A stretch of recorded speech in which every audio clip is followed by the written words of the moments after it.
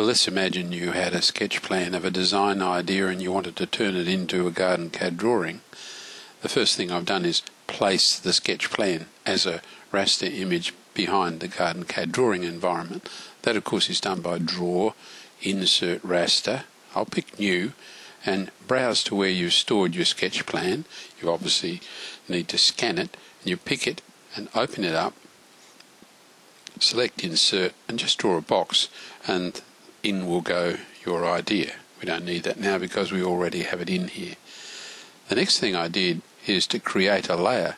I, I went layers and layer dialog and I made a new layer called rock layout and I made the color of that layer red. The reason for that is this when I want to start putting some circles in, um, I'll remove the circles that I've already placed in here and you'll and I'll erase those. Let's place some circles here. We only have to draw half of this, of course, because it's symmetrical. So it's draw, circle, center radius, and I'll center on the dot that's in the hand sketch there and just pull out and I'll center the circle or put the circumference of the circle roughly in line with where the center line, if you like, of the rocks that are going to go into position.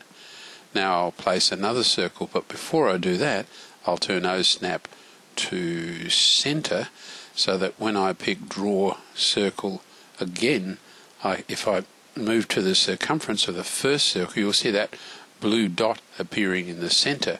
What that means is that the next circle is centered exactly at the same center point as the previous one. So in it goes. Right click, repeat circle, find the center again, come out to there, right click, repeat the circle, find the center again and get that inner circle there.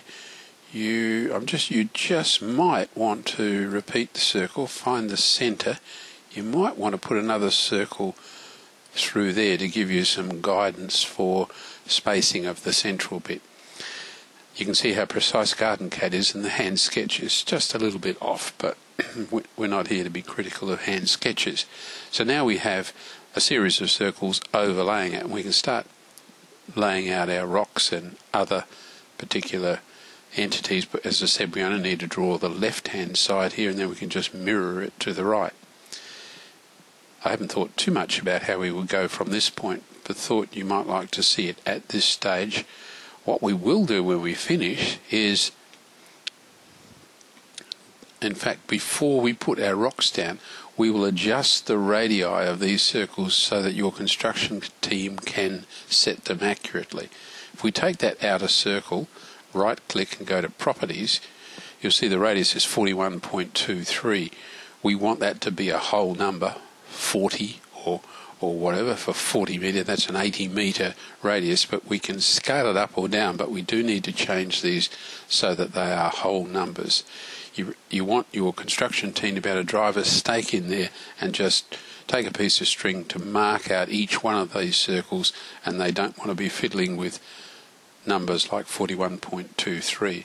So that's the first stage of transferring this drawing into a garden.